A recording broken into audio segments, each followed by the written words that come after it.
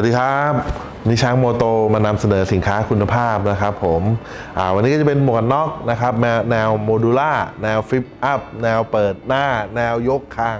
แล้วแต่เราจะเลือกกันเรียกกันนะครับ ก็จะเป็นหมวกอันนี้ครับก็เป็นหมวกอา Caberg นะครับรุ่น Caberg Duke นะครับ Caberg Duke ก็เป็นหมวกแนวเปิดหน้าเปิดหน้ายังไงนะครับผมเปิดมาดูครับกดตัวนี้นะครับปึ๊บอ่านี่ก็เปิดหน้ามีเลนส์ดำด้านในนะครับ ก็ สะดวกสำหรับการใช้งานในแนวทัวริงนะครับในการเดินทางต่างๆนะครับ แล้วก็หลากหลายฟังก์ชันมีให้เลือกใช้กันแล้วผมจะมาแนะนำรายละเอียดของตัวหมวกคร่าวๆแล้วกันนะครับผมตัวหมวกคาเบิร์กดุกนะครับ ตัววัสดุเนี่ยก็ผลิตมาจากาวัสดุโพลีคาร์บอเนตนะครับก็ให้ความแข็งแรงทนทานนะครับ ปลอดภัยแก่ท่านได้นะครับผมแล้วก็ อย่างอย่างตัวตัวหมวกหมวกดุกเนี่ยนะครับ ก็จะเป็นหมวกที่เปิดหน้าได้นะครับคล้ายๆอันนี้อะเปิดหน้าได้นะครับ มีเลนดำด้านดำเลนดำด้านในนะครับ อันนี้เปิดหน้า เวลาเราจะเลื่อนเลนดำเราก็เลื่อนตัวนี้นะครับปุ๊บเลนดำก็จะขึ้นลงนะครับเวลาเราเลื่อนสุดเนี่ยมันก็จะมีการล็อกของเขาอยู่ ล็อกมันจะเหมือนตึงๆนะครับปุ๊บมันก็จะล็อกล็อกตัวเลนส์ไม่ให้มันเด้งกระดอนได้เวลาเราใช้งานนะครับ เวลาเราเอาลงเอาลงก็ดันไปข้างหน้าครับเอาขึ้นก็ดันมาข้างหลังนะครับ แค่นั้นนะครับ นี่คือในส่วนของของเลนส์ดำด้านในนะครับ ผมแล้วก็อย่างตัวเนี้ยช่องลมนะครับ ช่องลมก็จะมีบริเวณด้านด้านบนตรงนี้นะครับแล้วก็มีอาจจะเขียนไว้ชัดเจนเลยครับ close ปิดนะครับ open เปิด เปิดก็คือรับรับลมเข้ามาบริเวณด้านบนนะครับ และด้านหน้าก็มีช่องลมเข้าอยู่แล้ว ตรงนี้มีช่องลมเข้านะครับผมก็ให้ให้ลมถ่ายเท เข้ามาในหมวกให้เรารู้สึกสบายในการขับขี่ไม่อึดอัดอะไรเงี้ยนะครับ แล้วก็อย่างอย่างตัวเนี้ยก็จะเป็นเส้นสายนะครับ เส้นสายของหมวกก็ในเรื่องของการทำแอโรไดนามิกนะครับความสวยงามต่างๆนะครับ แล้วก็ดังภายในภายในนะครับ สายรัดควิกล็อกควิกรีลีสนะครับก็คือถ้าแปลเป็นไทยง่าย ๆ ก็คือปลดเร็วเสียบเร็ว เอาเข้าออกเร็วว่าง่ายนะครับ ก็สะดวกครับ ดึงสีแดงปุ๊บก็ตัวปลดนะครับเราจะอาจจะสวมใส่เข้าไปก็เสียบเข้าไปแค่นั้นเองนะครับ ตัวนวมด้านในก็ทำมาได้นุ่มสบายนะครับ ถอดซักล้างทำความสะอาดได้นะครับ ช่องภายในสามารถติดลำโพงบลูทูธอินเตอร์คอมได้นะครับสำหรับอ่าบางท่านเดินทางอะไรเงี้ยเนาะก็เราก็สามารถแบบอ่าใส่อุปกรณ์สื่อสารได้นะครับ ติดบลูทูธติดอะไรเงี้ยได้นะครับ แล้วก็ อย่างอย่างตัวตัวตัวเนี้ยตัวแผ่นปิดคางเราก็สามารถถอดออกได้ ถอดออกยังไงก็ไม่มีอะไรครับก็ดึงออกได้เลยครับ มันจะมีล็อกล็อกของเขาอยู่นิดนึงนะครับ เราก็สามารถดึงออกนะสไลด์นิดๆแล้วเราก็ดึงดึงออกได้เลยนะครับ ผมแล้วก็อ่าตัวเนี้ยมันก็แผ่นปิดคางบางคนก็ไม่ชอบอึดอัดนะครับ เวลาใส่เราก็ดันดันเข้าไปได้เลยครับ แล้วก็จะมีช่องล็อกของเขาอยู่นิดนึงนะครับครับอ่าเนี้ยครับอันนี้ก็จะเข้าละ นะครับเดี๋ยวผมจะลองอกดเข้าไปปุ๊บอันนี้ก็อยู่แล้วเราก็ลองดึงดูก็ก็แน่นละนะครับผมแล้วก็อย่างตัวเจ้าตัว Caberg เนี่ยนะครับ ตัวนวมด้านในก็จะลักษณะประมาณนี้นะครับ ก็นุ่มๆดีครับ ก็ทำมาได้ได้กระชับดีเลยอันนี้ก็มีนวมปิด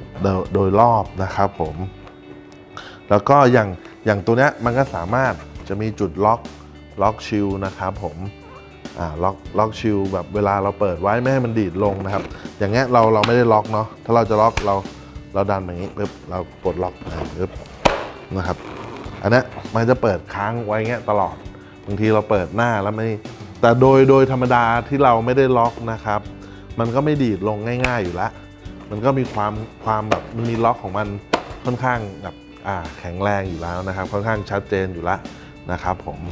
แล้วก็อย่าง อย่างในกล่องของเขาเนี่ยก็จะมีตัวแผ่น Pinlock anti-fog มาให้นะครับ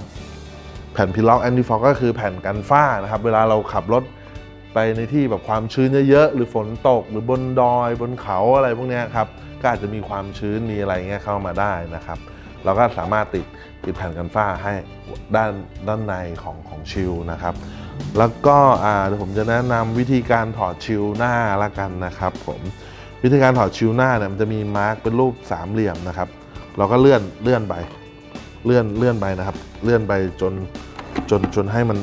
อ่าครับให้มันตรงให้มันตรงกับตัวตัวนี้นะครับนะครับ มันจะมีฝั่งตรงสายๆกับฝั่งตรงที่อยู่กับที่นะครับ เราก็เลื่อนมาตรงสามเหลี่ยมตรงกันแล้วเราก็สไลด์ตัวนี้เข้ามานะครับปุ๊บมันก็ปลดล็อกแล้วแค่นี้ครับเราก็ดึงออกได้ซ้ายขวาเหมือนกันนะครับตัวนี้มันจะมีมาร์คของเขาอยู่เราก็ดึง ง่ายๆครับไม่ไม่ได้ซับซ้อนอะไรนะครับผมแค่นี้เองนะครับ แล้วเวลาเราจะกลับมาใส่นะครับเราก็ทำเหมือนเดิมครับ ให้ mark สามเหลี่ยมตรงเนี้ยของของ shield นะครับ ตรงกันกับกับตัวนี้ตัว mark เนี่ยมันก็เป็นตัวช่วยให้เราสังเกตอามองหาจุดต่างๆ ได้ง่ายนะครับ แล้วก็สไลด์ลงไปปุ๊บแล้วก็สไลด์ตัวนี้กลับลงมานิดนึงนะครับ แค่นั้นก็ล็อกละนะครับ ซ้ายขวาทำเหมือนกันเลยนะครับ ตัวนี้เราปุ๊บเราก็สไลด์อะกดเข้าตรงนี้ปุ๊บแล้วสไลด์ด้านด้านบนนิดนึงปุ๊บ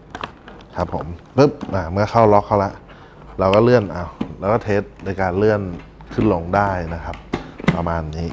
นะครับ ก็วิธีการใช้ก็ไม่ได้มีอะไรซับซ้อนมากมายนะครับ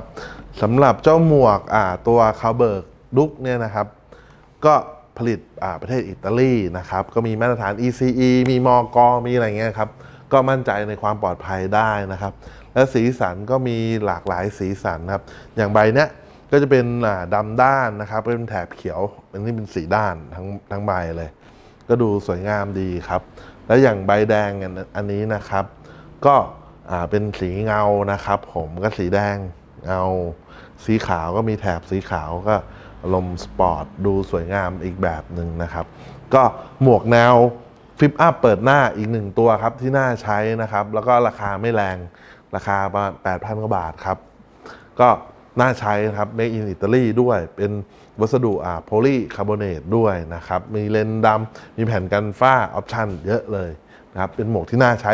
อีกหนึ่งตัวนะครับผมยังไงก็ขอบคุณมากนะครับที่ติดตามชมกันนะครับ ผมยังไงก็ฝากด้วยนะครับนะครับสำหรับอ่า แฟนเพจ Facebook นะครับช้างโมโตนะครับเว็บไซต์ช้างโมโต .com นะครับแล้วก็